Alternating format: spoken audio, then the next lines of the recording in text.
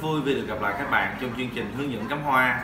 Hôm nay mình sẽ hướng dẫn cho các bạn kỹ thuật xe kẽm hoa lan.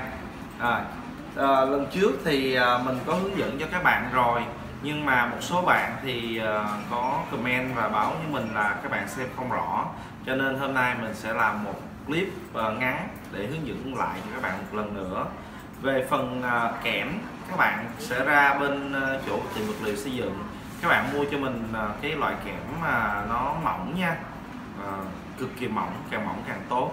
Rồi à, tiếp theo là chúng ta sẽ cắt ra thành từng đoạn mỗi đoạn như thế này nó dài khoảng từ 8 cho tới uh, 9 cm rồi tiếp theo phần đầu cộng uh, phần đầu kẽm này chúng ta sẽ bẻ hình giống như móc câu.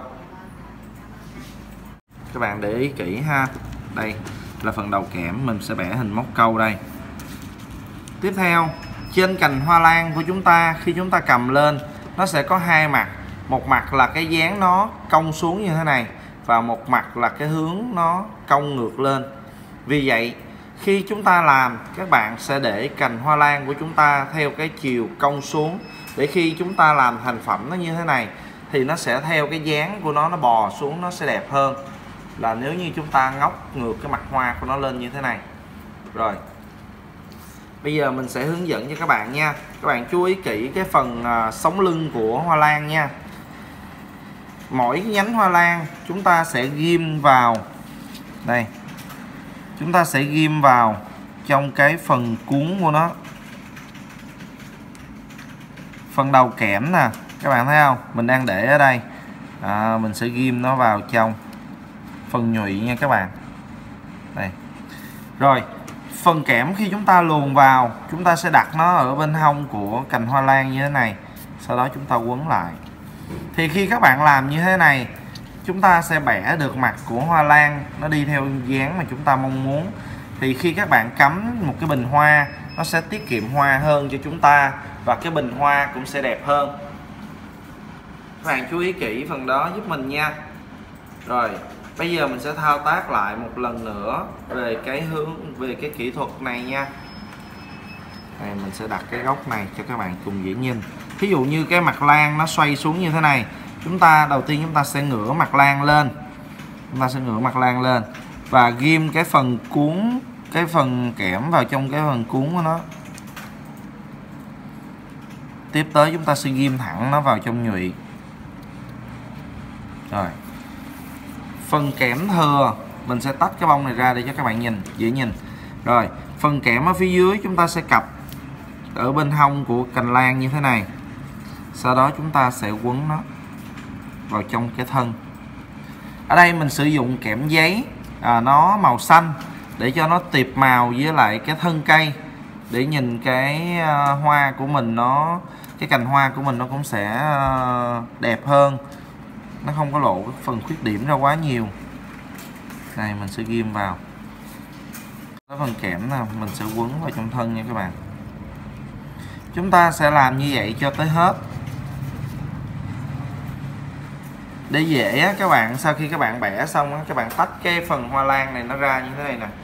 Đó các bạn đây các bạn thấy không? Mình sẽ tách nó qua hai bên. Để mình quấn cái ờ, bông tiếp theo nó sẽ không có bị đụng và nó không có làm rách cánh hoa.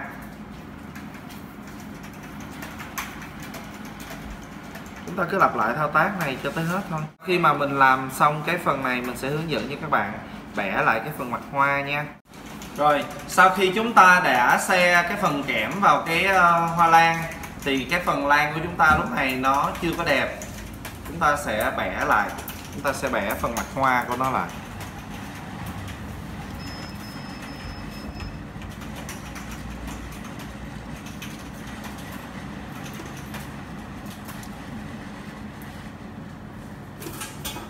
Lúc này khi chúng ta bẻ chúng ta sẽ cố gắng là tạo thành hai đường song song với nhau cho cái phần hoa lan. À. các bạn có thể à, đè cái phần à, đè cái phần bông nè và chúng ta tựa trên cái phần kẽm để nhúng cái phần hoa lan xuống cho nó à, nó đều. Đó, chúng ta sẽ nhúng xuống để cho nó đều.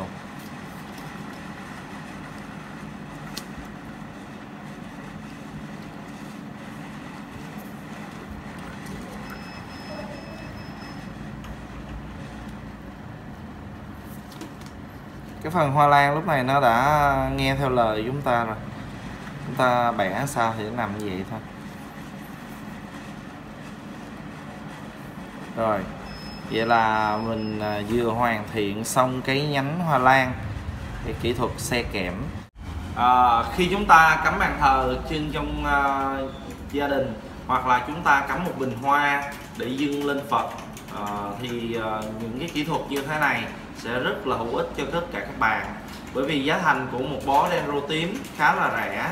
Thì uh, nếu như chúng ta sử dụng lan thái giá thành của lan thái sẽ hơi đắt. Uh, một bó lan thái rơi vào giá dao động từ ờ, 90 cho tới một trăm rưỡi tùy vào thời điểm. Đó. trong khi một bó lan dendro như thế này giá chỉ dao động từ khoảng 40 ngàn. Chúng ta sẽ bỏ một chút xíu thời gian à, dành cho cái à, bó hoa của chúng ta. Nếu như các bạn muốn cắm màu trắng thì các bạn sẽ mua lan trắng về các bạn xe. Chúng ta sẽ lựa cành dài đều đều bông như thế này. À, chúng ta hạn chế lựa những cái bó à, nó bên trong nó ngắn như thế này. Tại vì à, chúng ta xe những cái này nó rất là phí chúng ta chỉ nên xe những cái cành mà nó đều bông như thế này thôi. Vậy thì làm sao? Các bạn biết được trong cái bó đó nó có nhiều cây dài hay là nhiều cây ngắn. Rất là đơn giản các bạn. Khi mà chúng ta mua một cái bó hoa đó thường đó là với lại cái à, lan dendro này người ta sẽ tính theo bông. Cho nên đó, một cái bó hoa của nó nếu như là cành dài bông như thế này thì các bạn tưởng tượng nha. 2 4 6 8 9 9 bông. 9 bông trên một cành. À, một bó như thế này người ta chỉ bó vô cho mình tầm khoảng 40 bông thôi. Đó chín bông thì nó gì chi nó ra tầm khoảng à, 4 cho tới 5 cành. À, thì các bạn sẽ cầm phần gốc chúng ta sẽ xem chúng ta sẽ đếm cái phần gốc của nó nó có khoảng bao nhiêu cành. Thì chúng ta sẽ biết được là bên trong đó nó có độn quá nhiều hàng nhỏ hay không. À, đây như một cái bó hoa này khi mình à, mua về thì bên trong đây nó có 2 4 6 7 đây cái bó này là mình chưa làm gì hết. Thì trong đây nó có 7 cây. À, nó sẽ có ít nhất khoảng từ 3 cho tới 4 cây hoặc là 5 cây đẹp. Ở trong đó sẽ có ít nhất là khoảng hai cây độ. Bây giờ chúng ta cùng thử kiểm tra thử nha. Thì à, mình sẽ chia sẻ cho các bạn một cái kinh nghiệm để các bạn đi mua hoa, các bạn lựa thì chúng ta sẽ được cái hoa nó đẹp nhất. Đây, một cành dụng. Cành này đẹp nha các bạn. Hai cành dụng. Cành này vẫn đẹp nha à, cành này nếu như chúng ta xe lên nó vẫn đẹp. Cành này chúng ta xe lên vẫn đẹp. Cành này xe lên vẫn đẹp. Đây cành này xe lên cũng tương đối đẹp tại vì nó thiếu mất hai bông. Nó thiếu mất hai bông. Cành này cũng tương đối. Cành này đẹp. Vậy là trong cái bó hoa này có ít nhất là 5 cây đẹp. À, nó chỉ có độn vô thêm trong đây khoảng hai cái cây nó hơi ngắn. Thì chúng ta vẫn có thể xe à, nếu như ít ít như thế này chúng ta vẫn xe để chúng ta cắm một cái bình hoa nó đầy đặn hơn. À, còn mình thì um, chia sẻ cho các bạn một cái kinh nghiệm để chúng ta đi mua một cái bó hoa. À, chúng ta sẽ lấy được những cái à, cành hoa đẹp nhất có thể. Vậy là mình vừa chia sẻ cho các bạn xong. Cái thứ nhất là kỹ thuật để lựa một bó hoa à, có nhiều cây dài đẹp. À, như thế này. Như thế này. Đây. Đó mình vừa chia sẻ cho các bạn cái kỹ thuật để lựa lan rồi. Và cái thứ hai đó là mình cũng chia sẻ cho các bạn cái kỹ thuật để quấn hoa lan. Chúc các bạn thành công. Hẹn gặp lại các bạn ở những video tiếp theo. Xin chào và hẹn gặp lại.